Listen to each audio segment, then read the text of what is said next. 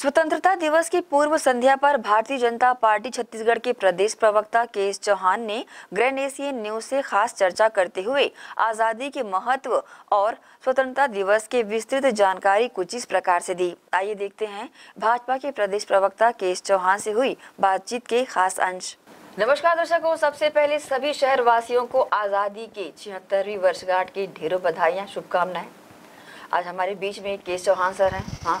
एक कुशल व्यक्तित्व के धनी, एक कुशल राजनीतिज्ञ और अपनी एक अलग छवि रखने वाले केश चौहान हमारे से आज चर्चा करेंगे कि आज़ादी हमें किस तरह मिली और किसका इसमें ज़्यादा योगदान रहा।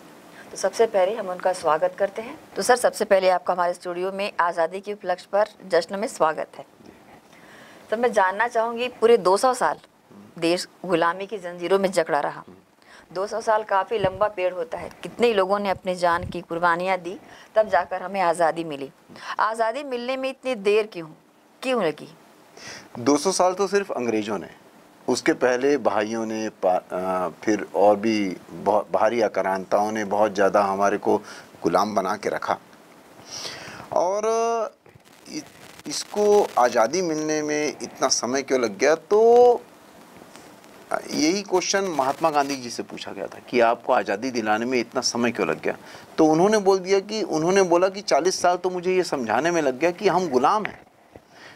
और जब इंसान को उसकी यथार्थ स्थिति बता दी जाए, जब उसको जागरूक कर दिया जाए, हम लोग जागरूक ही नहीं थे।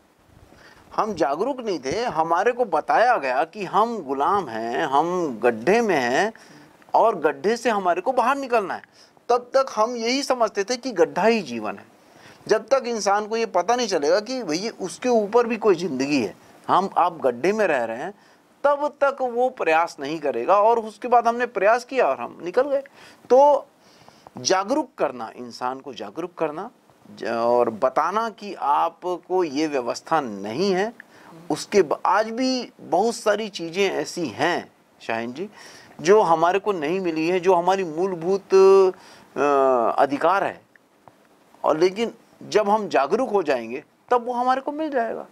वैसे तो अनेकों हीरो हैं। इन 200 सालों में जिनके नाम गिने जाते हैं शहीदों में उनकी जयंतियाँ मनाई जाती है।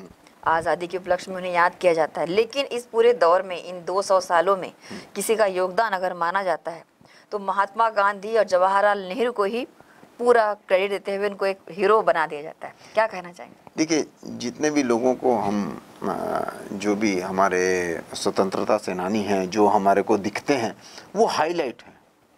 हाईलाइटेड हैं। बाकी योगदान बहुत लोगों का रहा है, जो जो युद्ध में नहीं भी गए, उनका भी योगदान था। जैसे उसका भी योगदान रहता है, जो एक, जो युद्ध में घोड़ा जाने वाला रहता है, और उसकी जो नाल ठोकता है, नाल अगर अच्छे से ठोका है तब वो घोड़ा अच्छे से दौड़ेगा, तब वो जो घुड़सवार है वो अच्छे से युद्ध करेगा और उसका भी उतना ही योगदान है, होता है जितना कि एक नाल जितना एक घुड़सवार का होता है, उतना ही नाल ठोकने वाले का भी होता है। तो ऐसे ही बहुत सारे ऐसे अनगिनत लोग हैं जिन्होंने अपना अपना प्रयास किया। और जो आज सुनाई नहीं देते, जैसे अरविंदु घोष हुए हमारे एक ठो। तो वो इतने सेंसिटिव थे कि उनको उनको बहुत मारा। अंग्रेज़ों ने। तो उन्होंने बोला कि ऐसी बात नहीं जमेगी। तो उन्होंने वो चले गए किसी एकांत गुफा में और उन्होंने आ, उन्होंने ध्यान करना चालू कर दिया। और उसके बलबूते पे उन्होंने बहुत सारी चीज़ें ऐसी करवाई जिसका आज़ादी में बहुत बड़ा योगदान है। और आपको जान के ये भी खुशी होगी कि 15 अगस्त उनके बर्थडे वाले दिन हमारे को आज़ादी मिली। अरविंद घोष। बहुत कम लोगों को जानकारी बहुत बहुत कम लोगों को जानकारी। है और ऐसे अनगिनत अनगिनत किस्से हैं जो आज़ादी के लिए मिट गए मर गए। और लेकिन आज़ादी मिली। उनका ध्येय ये था कि हमारा नाम हो या ना हो लेकिन आज़ादी मिलनी चाहिए। ऐसे अनगिनत लोग हैं। ब्रिटिश शासन 200 साल यहाँ राज किया। गुलामी में झगड़ा रहा पूरे हिंदुस्तान को। गुलामी की असली वजह क्या रही होगी? क्या लगता है आपको? अगर हम चिंतन मंथन करें हर किसी का अपना नज़रिया होता है। हम्म। आपसे अगर पूछा जाए या आप अपनी क्या राय देते हैं? देखिए संसार में कोई भी इंसान कितना भी ताकतवर इंसान कोई भी ताकतवर देश की इतनी औकात नहीं है कि किसी को गुलाम बना सके।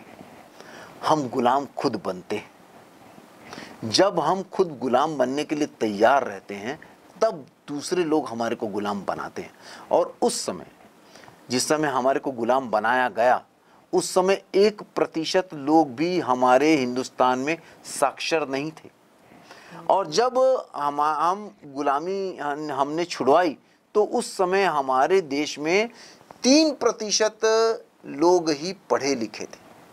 और तीस करोड़ जनता के ऊपर दस लाख सिर्फ़ अंग्रेज़ों ने, पढ़े लिखे अंग्रेज़ों ने शासन किया। और वो क्यों हटे?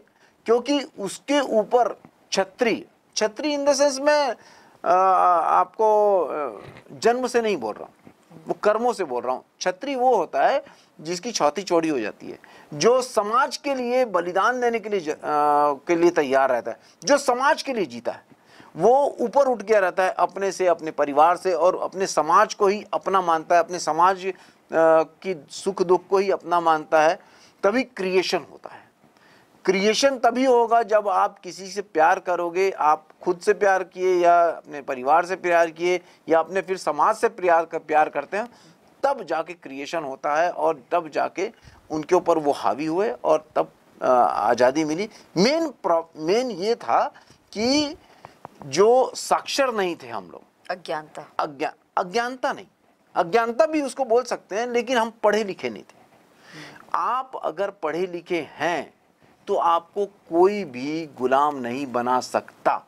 उस समय भी, उस समय भी कुछ लोग गुलाम नहीं थे। जो लोग पढ़े लिखे थे, वो लोग गुलाम नहीं थे।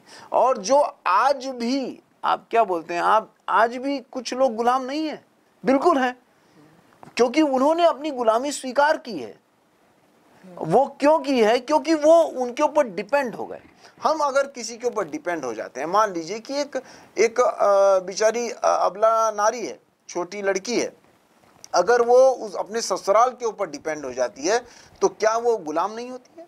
बिल्कुल उसका शोषण भी होता है, जो वो बोलते हैं वो होता है, और इसीलिए बच्चियों को पढ़ाना ज़रूरी है, उनको इंडिपेंडेंट करना ज़रूरी है, तभी हम हम स्वतंत्र हो सकते हैं, और तभी हम गुलाम नहीं बनते हैं।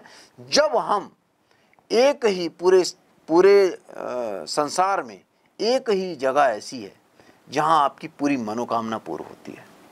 एक ही एक ही जगह ऐसी है जो आपकी सभी इच्छाओं को पूरा करता है और वो है स्कूल। स्कूल अगर आप जाएँगे, तब आप जो चाहेंगे, वो होगा क्योंकि ज्ञान वहाँ से वो मिलेगा और वो ज्ञान आपको सब चीज़ें देगा, कभी गुलाम नहीं बनने देगा। गुलाम की गुलाम बनाने की किसी की औकात नहीं है शाहिन जी। हम खुद गुलाम बनते हैं और हम गुलाम तब बनते हैं जब हम अज्ञानी रहते हैं जब हम साक्षर नहीं होते हैं पढ़े लिखे नहीं हैं तब पढ़े लिखे हो आप कोई गुलाम नहीं बना सकता आप डिपेंडेंट इंडिपेंडेंट रहोगे। बहुत अच्छी बात कही आपने। पढ़ाई बेहद ज़रूरी है शिक्षा ज़रूरी है। मैं आपसे सवाल करना चाहती हूँ कि आज़ादी के छिहत्तर वर्ष बाद हम्म। कई तरह के बदलाव आए हैं। अब एक अमूमन बदलाव को देखा जाए तो चाहे औद्योगिक क्रांति हो या शिक्षा की क्रांति हो कई तरह की क्रांति आई कई तरह के बदलाव। आज़ादी के बाद का मूल बदलाव जो है उसको किस तरह नज़र से देखते हैं कैसा मानते हैं? या क्या बदलाव ज़्यादा अपने को नज़र आया जो हुआ है? जी बदलाव एक निरंतर प्रक्रिया है शाहिन जी लेकिन इसमें स्पीड मायने रखती है। बदलाव कितनी तेज़ी से हो रहा है। रफ्तार। रफ्तार।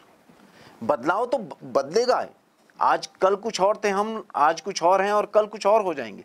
लेकिन जो तेज़ी आनी चाहिए, जो रफ्तार है, वो थोड़ा और ज़्यादा होनी चाहिए और वो तेज़ी से और बढ़ रही है।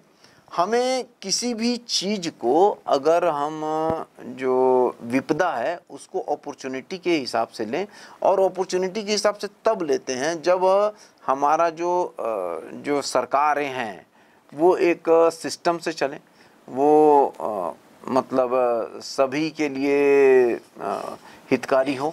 उस सिस्टम से जब हम चलना चालू करते हैं और हम सूक्ष्मता की ओर जब जाना चालू करते हैं, तब हम तब हम बहुत तेज़ी से रफ्तार पकड़ लेते हैं बदलाव की और बदलाव फिर बहुत अच्छे होते हैं। बदलाव आज की डेट में जो भारत में हुआ है, वो एक हमारे को बहुत देखने को मिलता है कि हम साक्षर हो रहे हैं।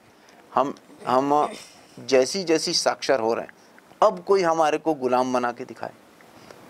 अब कोई हमारे, अब कोई बना सकता है किसी को गुलाम? जो भी साक्षर हो चुका है, नहीं बना सकता। हम गुलाम बनेंगे ही नहीं, कभी नहीं बन सकते हम गुलाम। तो अब सबसे बड़ा तो यही अंतर आया है कि अब हम गुलाम नहीं बन सकते हैं। मेरा भारत महान, ये एक नारा है, हर जगह चस्पा भी किया रहता है। लोगों के मन की धारणा भी रहती है। सर उठा के खुश होकर सब कहते भी हैं, मेरा भारत महान। इसको महसूस किया, कैसे किया जा सकता है? जबान से कह देने से ही मेरा भारत महान, हम मान रहे हैं। महसूस कैसे कर सकते हैं? एक्चुअल में भारत महान है। एक्चुअल में भारत महान है कि आप ये देखिए कि कई अक्रांताओं ने, बाहरी शक्तियों ने, बाहरी लोगों ने इसके ऊपर आक्रमण किया, लेकिन भारत ने उसे अपना लिया। क्योंकि भारत की जो संस्कृति है, वो भरी हुई है, वो अपनाने की है, वो सनातन संस्कृति से जुड़ा हुआ है। और मैं ये बोलते बोलते इमोशंस, इमोशनल हो गया हूँ कि आज तक भारत ने, आज तक भारत ने कहीं भी आक्रमण नहीं किया। हम सदियों से देख लें, जब से भारत है हमारे, तब से खुद होके उसने आक्रमण दूसरे देशों में नहीं किया। हाँ अपनी रक्षा की है जवाब दिया है लेकिन खुद होके कभी नहीं किया। कैसे संस्कार ये हमारे ये हमारे संस्कार हैं। ये हमारे भरे हुए संस्कार हैं। और यही भरे हुए संस्कार हमारे को बताते हैं कि आज भी पूरे वर्ल्ड में पूरे वर्ल्ड में आज जब से ये वर्ल्ड बना है जब से दूसरे दूसरे महाद्वीपों में जो लोग रहते हैं सबसे ज़्यादा वेजिटेरियन जो लोग हैं वो यहाँ पाए जाते हैं। और हम विश्व गुरु इसीलिए इस सबसे बड़ा कारण है कि हम विश्व गुरु की कगार पे खड़े हुए हैं और हम विश्व गुरु बनने बनने के लिए मतलब मुहाने पे खड़े हुए हैं और हम विश्व गुरु बन बन जाएँगे, जिससे जिससे जिससे दुनिया का उद्धार होने वाला है। सिर्फ़ हिंदुस्तान का नहीं, हिंदुस्तान का तो हो चुका है। सिर्फ़ जो संस्कृति, इसकी जो इन जो हमारे जो भारत में जो रिलेशंस हैं वो दुनिया में कहीं भी आपको ऐसे प्रगाढ़ रिलेशंस नहीं दिखाई देंगे। भाई बहन के जो हैं माँ बाप के जो हैं पति पत्नी के जो हैं पति पत्नी ना चाहते हुए भी ज़िंदगी भर एक दूसरे के साथ गुजार देते हैं और एक दूसरे का सहयोग भी करते हैं समय समय पे आने इसे हम संस्कारों की भाषा कह सकते हैं। संस्कारों की भाषा इसीलिए मेरा भारत महा महान है। आज़ादी का पर्व मनाते हुए अभी देश पूरे खुशियों में डूबा हुआ है। कल छिहत्तरवीं वर्षगांठ मनाएगा। क्या आपको लगता है कि भगवान ना करे ऐसी स्थिति परिस्थिति बने कि इसको इस पर दोबारा गुलामी का ठप्पा लगे? हो सकता है। मैं बताया ना आपको कि हम गुलाम बनते हैं खुद। कोई हमारे को नहीं बना सकता है गुलाम। और ये कंडीशन बहुत पीछे छूट चुकी है। आज हम, हमारा देश जो है, वो लगभग 77-78 प्रतिशत लोग जो हैं, इसमें साक्षर हो चुके हैं। और अब जो ज़रूरत है, अभी फ़िलहाल जो ज़रूरत है, वो महिलाओं का साक्षरता बहुत नीचे है और महिलाओं की साक्षरता को ऊपर लाने की ज़रूरत है। महिलाओं को, अपनी बच्चियों को डिपेंडेंट बनाने की ज़रूरत है। सॉरी इंडिपेंडेंट बनाने की ज़रूरत है डिपेंडेंट बनाने की ज़रूरत नहीं है। ये हम महिलाओं के लिए करें, क्योंकि हमारी जो मातृशक्ति है, वो लगभग पचास प्रतिशत है। लगभग पचास प्रतिशत है, और पचास प्रतिशत में सिर्फ़ तीन प्रतिशत महिलाएँ ही बाहर निकल के काम कर रही हैं। सैतालीस प्रतिशत हमारी एनर्जी भारत में, घर में है। उस, उनको बाहर निकालना, उनसे उनको अपनी समृद्धि में काम करवाना, अपने देश की समृद्धि में, परिवार की समृद्धि में काम करवाना, ये बिल्कुल होना चाहिए और उनका हक भी है, उनकी जवाबदारी भी है और इसी में उनका विकास भी है। जब हम अपनी जवाबदारी समझेंगे, जब हम हक समझेंगे, तभी हम उनके लिए करेंगे। और ये हमारे को एक पुरुष प्रधान देश हम लोग बोलते हैं तो पुरुष प्रधान देश, प्रधान आप तभी बनते हैं जब आप हक नहीं जताते, जब आप जवाबदारी समझते हैं तो पुरुषों को ये सब समझ लेना ज़रूरी है कि हमें महिलाओं को ऊपर हक नहीं, हमारी जवाबदारी है कि हम उनको आगे बढ़ाएँ। और जब हमारी महिलाएँ भी और आगे बढ़ेंगी तो हम और सुदृढ़ अवस्था में पहुँच जाएँगे। गुलामी की तो सवारी पैदा नहीं होता। ग्रैंड एशियन के दर्शकों को आज़ादी के पर्व की बधाइयाँ। आप सभी को ग्रैंड एशियन के सभी दर्शकों को आज़ादी की बहुत बहुत बहुत बहुत शुभकामनाएँ बधाई। और, असली आज़ादी का मतलब वही होता है दोस्तों, कि हम इंडिपेंडेंट रहें, हम खुद हम खुद अपनी जवाबदारी उठा सकें, अपनी अपनी रिस्पॉन्सिबिलिटी उठा सकें। और रिस्पॉन्सिबिलिटी का मतलब ये होता है कि हम देश के लिए हैं। हम परिवार के लिए हैं अपने। हम हम कभी कभी ये सोच लेते हैं कि परिवार हमारे लिए है। नहीं, हम परिवार के लिए हैं। तो ये और वैसे ही हम देश के लिए हैं। तो हम समाज के लिए हैं। इसी शुभकामनाओं के साथ, इसी भावनाओं के साथ आपको ढेरों ढेरों हार्दिक शुभकामनाएँ इस स्वतंत्रता दिवस की। तो दर्शकों आज़ादी के पर्व पर हमने खास आमंत्रित किया था। केश चौहान सर को आज़ादी को लेकर उन्होंने काफ़ी सारी जानकारियाँ हमें दी और गुलाम हम क्यों थे? किस लिए थे? और हमको जो उससे निजात मिली, हम आज़ाद हुए, उसके विषय को लेकर भी उन्होंने हमसे काफ़ी चर्चा की। तो अगले एपिसोड में हम फिर आपके सामने होंगे और कई सारे बातों के साथ, तब तक के लिए नमस्कार।